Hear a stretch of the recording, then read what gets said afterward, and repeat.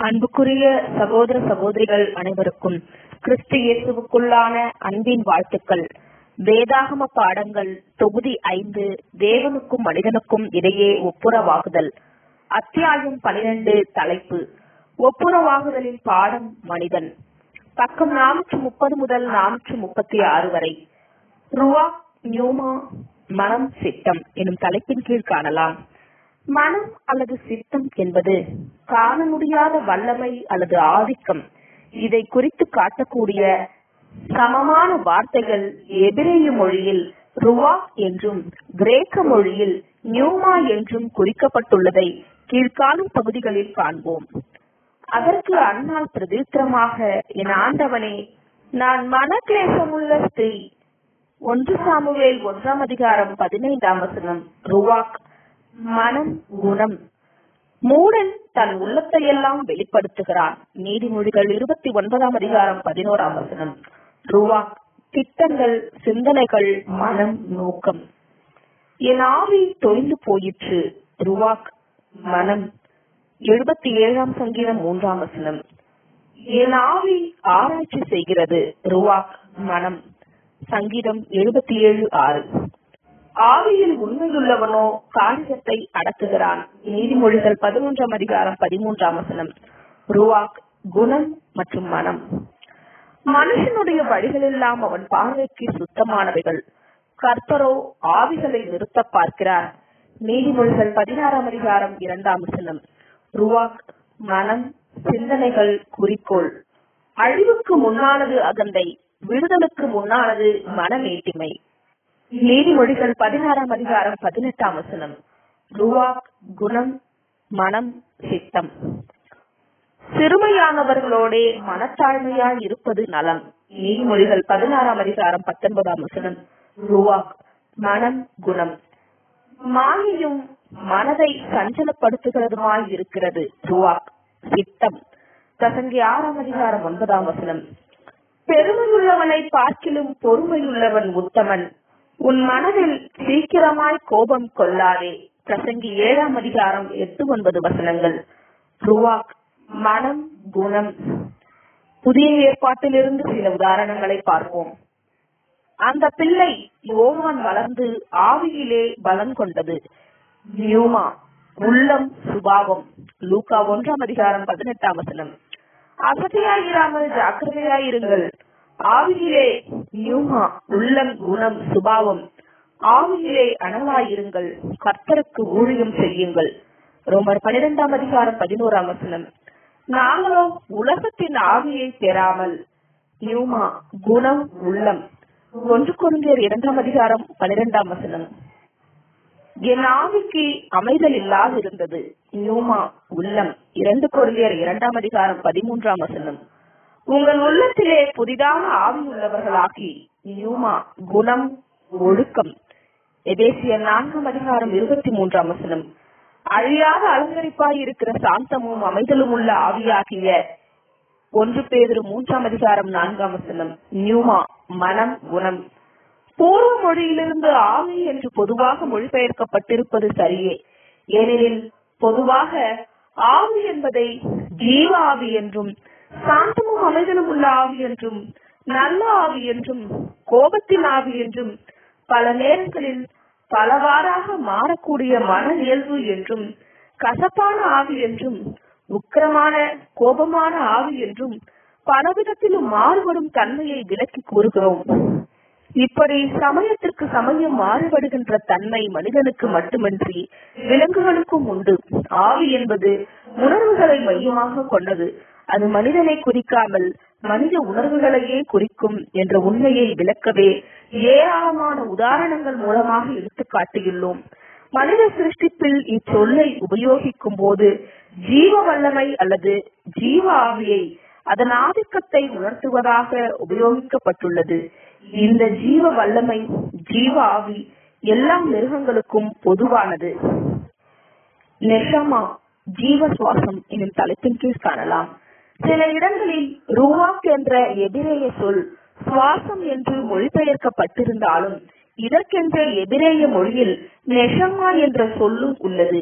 இது இருபத்தி ஆறு இடங்களில் வருகிறது.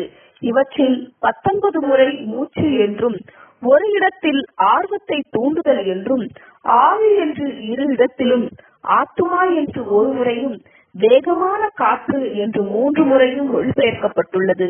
இந்த உதாரணத்தை பார்த்த நெஷாமா என்ற சொல்லுக்கு பல வகையான அர்த்தம் இருப்பினும் அவை எல்லாவற்றிற்கும் ஒட்டுமொத்தமாக ஜீவ வல்லமை என்பதே அதன் மைய பொருளாகும் இது எவ்வகையிலும் நித்திய ஜீவன் அல்லது சாகாமை என்ற பொருளில் ஒரு காலம் இங்கே கூறப்படவில்லை என்பதை கீழ்காணும் உதாரணங்களிலிருந்து அறிந்து கொள்வோமாக. தேவனாகிய கர்த்தர் மனுஷனை பூமியின் மண்ணினாலே உருவாக்கி ஜீவ சுவாசத்தை கேயா நெஷாமா அவன் நாசியிலே ஊதினார் நாபாக் இரண்டாம் அதிகாரம் ஏழாம் வசனம். அப்பொழுது மாம்ச ஜந்துக்களாகிய பறவைகளும் நாட்டு மிருகங்களும் காட்டு மிருகங்களும் பூமியின் மேல் ஊறும் பிராணிகள் யாவும் எல்லா நரஜீவன்களும் பூமியின் மேல் சஞ்சரிக்கிறவைகள் யாவும் ஆண்டன. வெட்டாந்தரையில் உண்டான எல்லாவற்றிலும் நாசியிலே ஜீவ சுவாசம் உள்ள நெஷாமா எல்லாம் மாண்டு போயின. ஆதியாகமம் ஏழாம் அதிகாரம் இருபத்தி ஒன்று இருபத்தி ரெண்டு வசனங்கள். வேதாகமத்திலேயே நெஷமா என்ற சொல் முதன் முறையாக இரண்டு முறை மேற்கண்ட இடங்களில் உபயோகப்படுத்தப்பட்டதை பார்த்தோம். நாம் ஏற்கனவே சொன்ன கருத்தை விளங்க செய்வதற்கு நிரூபிக்கவும் இந்த உதாரணங்களே போதுமானது. இந்த இரண்டு இடங்களில் எந்த இடத்திலும் அது நித்திய ஜீவனையோ சாகாமை கொள்கையையோ குறிக்கவில்லை. மாறாக வெறும் ஜீவ வல்லமை பற்றி மட்டுமே குறிப்பிடுகிறது. இந்த ஜீவ வல்லமைதான் ஆதாமுக்கு கொடுக்கப்படுவதாக முதல் வசனத்தில் வாசித்தோம். இரண்டாம் வசனமாக சொல்லப்பட்ட இடத்தில் அதே ஜீவ வல்லமை பூமியின் மேல் ஊறுகின்றவை நடப்பவை பரப்பவை ஆகியவற்றிற்கும் மனிதனுக்கும் கொடுக்கப்பட்டதாக குறிப்பிடப்பட்டிருக்கிறது. ஆனால் இந்த ஜீவ சுவாசம் திரும்பி எடுத்துக்கொள்ளப்பட்ட போது அதன் பலனாக எல்லா மனிதர்களும் மிருகங்களும் இறந்ததாக குறிப்பிடப்பட்டிருக்கிறது. மனிதன் சாவது போலவே மிருகங்களும் சாகின்றன. ஆனாலும் மனிதனுக்கு தான் ஒரு தெய்வீக நோக்கத்தை திட்டத்தை தேவன் வைத்திருக்கிறார். அதன்படி ஏற்ற வேளையில் அவர்களுக்கு ஈட்டுக்கிரயம் கொடுத்து மரண பிழையிலிருந்து வாக்கு தத்துவத்தின்படி மீட்டுக் கொள்கிறார் உயிர்த்தெழுதலின் மூலமாக மனிதன் மறுபடியும் ஒரு ஜீவியாகிறான் ஆத்மாவாகிறான். ஒரு மனித ஆத்மா எனும் தலைப்பின் கீழ் காணலாம். ஆதியாகமத்தை வாசிக்கிற பலர் சிருஷ்டிப்பை குறித்து சொல்லப்பட்ட வசனமாகிய மனிதனை மண்ணினால் உருவாக்கி அவன் மேல் தன் ஜீவ சுவாசத்தை கொடுத்தார் என்று தவறாக எண்ணுகின்றனர். ஆனால் அது அவ்வாறல்ல. அப்போது மனிதன் ஜீவாத்மாவானான் என்று எழுதியிருக்கிறது.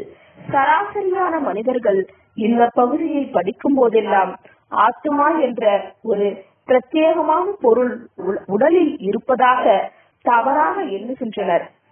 தான் என்ன என்று புரிந்து கொள்ள முடியாத ஒரு பொருளே இந்த ஆத்துமா. இதை தப்பறையாய் புகுத்தியவர்கள் புகட்டிய பாடமே இந்த ஆத்துமா என்ற எங்குமில்லாத ஒரு பொருள். இந்த ஆத்துமா என்ன என்பதை போதித்தவர்களும் சிந்தித்ததில்லை போதிக்கப்பட்டவர்களும் சிந்தித்ததில்லை. தங்களுக்கு போதித்த இறையியல் வல்லுநர்கள் நன்கு ஆராய்ச்சி செய்துதான் போதித்திருப்பார்கள். ஆகவே அந்த கருத்துக்களை ஏன் எவ்வாறு என்று கேட்பது அவசியமற்றது என்று கருதுவதால் சொன்னதை ஏற்றுக்கொள்கிறார்கள். ஆத்மா என்ற சொல்லின் அர்த்தத்தை சரிவர இவர்கள் புரிந்து கொள்வதில்லை. சிலர் இதை அலட்சியமாக கவனக்குறைவாக பலவாறு அர்த்தம் கொள்ள நினைக்கின்றனர். எனவே வேதாகம கருத்தின்படி மனிதனே ஜீவாத்மா என்பதை இவர்கள் மனிதனுக்குள் ஒரு ஆத்துமா என்று கூறிவிட்டனர். இது உண்மையில் மிகுந்த மாறுபாடான கருத்து. சத்தியத்தை தேட விரும்புகிற எவரும் அவர்களால் இயன்ற அளவுக்கு யதார்த்தமான ஆராய்ச்சியை மேற்கொள்ள வேண்டும். விசேஷமாக ஒரு புரியாத கருத்தையோ புதிய கருத்தையோ ஆராயும் போது யதார்த்த மனநிலையோடு ஆராய்தல் அவசியம். எளிதில் புரிந்து கொள்ள முடியாததும் ரகசியமாக இருப்பவைகளையும் கருத்தாய் ஆராயும் போது யதார்த்த மனநிலை அவசியம். இல்லையென்றால் அதை நம்மிடம் சக்தி இல்லை என்ற எண்ணத்தை சந்திக்க நேரிடும். மர்மமானதும் புரிந்து கொள்ள முடியாததுமான இந்த ஆத்மாவுக்கு பல குணங்களையும் வல்லமைகளை கொடுப்பது ஒரு இயற்கையான சுபாவமாகும். எனவே ஆத்மாவை பற்றிய ஒரு பொதுவான கருத்து என்னவென்றால் அது விசித்திரமான ஞானமுடையது விசித்திரமான வல்லமைகளை பெற்றிருக்கிறது அழிக்க முடியாதது தொட்டுணர முடியாதது புத்தி கெட்டாதது என்பதாகும். பாப்டிஸ்ட் சபையின் பிஷப் ஒருவர் ஆத்மாவை பற்றிய பழமை கருத்தை விளக்கமாக சொல்வதை கீழே காண்போம். ஆத்மா என்பதற்கு ஒரு சரீரமோ உடற்கூறில் ஏதாவது ஒரு பாகமோ அதற்கு உருவ அமைப்போ இல்லை. அதற்குள்ளும் ஒன்றுமில்லை புறமும் ஒன்றுமில்லை. லட்சோப லட்சம் ஆத்மாக்களை ஒரு கொட்டை ஓட்டிற்குள் அழைத்து வைக்க முடியும். முழுவதும் தப்பறையான இந்த ஆத்மா கொள்கையை விளக்க பல்வேறு பொருள்களை ஓமானமாக உபமேயமாக சொல்லி குழப்பத்தில் ஆழ்த்துகிற கொள்கைகளை வகுத்து விட்டனர் இந்த கொள்கை தெய்வீக தன்மையின் ஒரு பகுதியே ஆத்மா என்றும் இந்த ஆத்மா மட்டும் உண்மையான உயிருள்ள நிலை என்றும் தெய்வீக தன்மையும் அறிவு கூர்மையான ஜீவனும் உள்ளதென்றும் சரீரத்தோடு ஒட்டாமல் தனித்து நிற்கிறதும் ஒரு சில காலத்திற்கு மட்டும் சரீரத்தில் குடியிருந்து விட்டு சரீரம் கெட்டு ஒன்றுக்கும் உதவாத போது இந்த ஆத்மா அதை விட்டு வெளியேறி விடுகிறது என்றும் கூறுகிறது. இதுவரையில் எவரும் எந்த ஒரு ஆத்மாவும் ஒரு சரீரத்திற்குள் குடியேறுவதையோ அங்கிருப்பதையோ அங்கிருந்து வெளியேறுவதையோ கண்டதில்லை. ஒரு மனிதனுக்குள் இருக்கிற ஆத்மாவை நவீன விஞ்ஞான உபகரணங்களாகிய மைக்ரோஸ்கோப் புகைப்படம் எக்ஸ் கதிர்கள் ஸ்கேன் ஆகிய எந்த கருவியிலும் இதுவரை எவராலும் காண முடியவில்லை. எனவே அதற்கு ஒரு சரீர அமைப்போ உருவமோ தனி பாகங்களோ கிடையாது. மைக்ரோஸ்கோப்பின் மூலம் கூட காண முடியாத நுண்ணிய பொருளாக இருப்பதால் ஐம்பது மில்லியன் ஆத்துமாக்களை ஒரு மிகச்சிறிய கொட்டையின் ஓட்டிற்குள் அடக்கி வைக்க முடியும் என்கின்றனர். உண்மையாகவே விஷயம் கொடுத்த மிக அருமையான விளக்கம் ஒன்றுமில்லாமையை பற்றிய விளக்கமாகும்.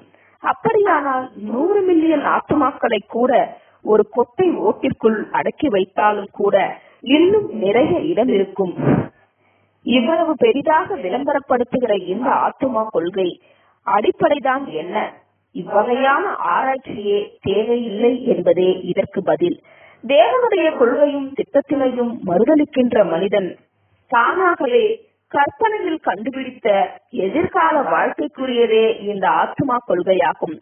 மனிதன் சித்தாந்தத்தின்படி ஏதோ ஒன்று மரணத்தை காணாமல் இருக்க வேண்டும். அப்படி எதுவும் இல்லை என்றால் அவனுக்கு எதிர்காலமோ எதிர்காலத்தில் ஜீவனோ இல்லை. ஆனால் தெய்வீக கொள்கையின்படி ஆதியில் சிருஷ்டித்த அதே தேவனுக்கு மறுத்த மனிதனை மீண்டும் உயிர்த்தெழ செய்யும் வல்லமை உண்டு என்கிறது. இதுவே பரிசுத்த தேவனுடைய வார்த்தையாகும். உலகத்தில் உள்ள அனைத்து நாகரீகம் அடைந்த நாகரீகம் இல்லாத மனிதர்களுடைய கொள்கைக்கும் இடையே உள்ள முரண்பாடாகும்.